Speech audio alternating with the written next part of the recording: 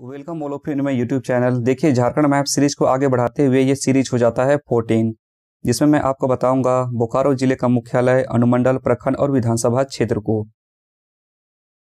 तो देखिए, ये रहा बोकारो ज़िले का मैप। इस ज़िले का गठन हुआ था एक अप्रैल उन्नीस सौ इक्यानवे ईस्वी में, जिसका मुख्यालय हो जाता है बोकारो। आप देख सकते हैं मैप में उसे मैंने रेड सर्कल करके दर्शाया है आपके लिए।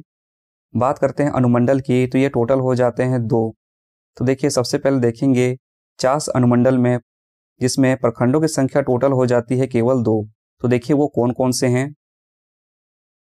चास और चंदन क्यारी ये दो प्रखंड हो जा रहे हैं चास अनुमंडल में। दूसरा देखिएगा, हो जाता है ये बिरम अनुमंडल, जिसमें प्रखंडों की संख्या हो जाती है टोटल सात। तो देखिए, मैप में वो कौन कौन से हैं? बिरमो, चंद्रपुरा नावाडीह गोमिया, पेटरवार, कसमार और जरीडी। तो देखिए टोटल यहाँ हो जा रहे हैं सात बिरमो अनुमंडल में। जैसा कि आप देख रहे हैं, चास अनुमंडल में प्रखंडों की संख्या टोटल हो जा रही है दो और बिरमो अनुमंडल में प्रखंडों की संख्या टोटल हो जा रही है सात। तो देखिए टोटल हो जाते हैं नौ प्रखंड। तो देखिए, ये जो नौ प्रखंड हो जाते हैं, बोकारो ज़िले में आपको देखने मिलेंगे।